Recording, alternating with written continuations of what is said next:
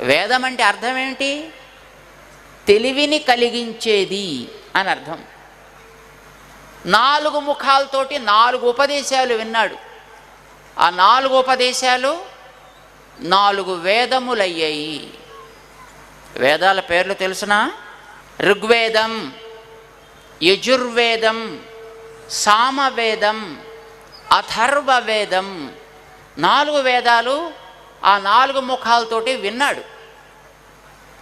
వినగానే అమ్మో చాలా గొప్పగా ఉన్నాయి. ఏం చేయాలి నేను వీటితోటి? అడిగాడు ఆయన సృష్టి చేయి అని ఉపదేశం చేశాడు ఆ మహానుభావుడు ఆయనకి అమ్మో నేనా?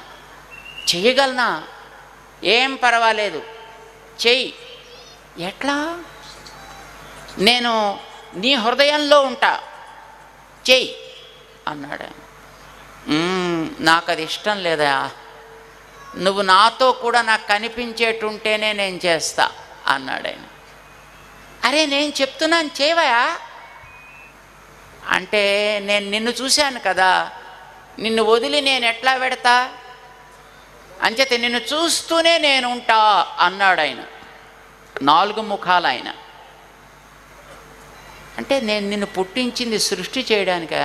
నన్ను చూస్తూ కూర్చోడానికి కాదయా